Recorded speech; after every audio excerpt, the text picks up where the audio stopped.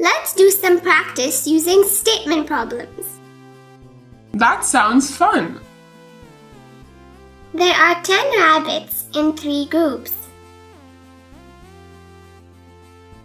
How many rabbits are there all together? To find the total number of rabbits, we multiply.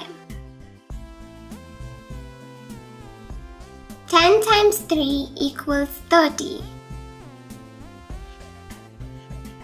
There are 30 rabbits in all. That's incredible! There are 10 birds in 4 groups. How many birds are there altogether? To find the total number of birds, we multiply. Thank you for watching. Enroll now.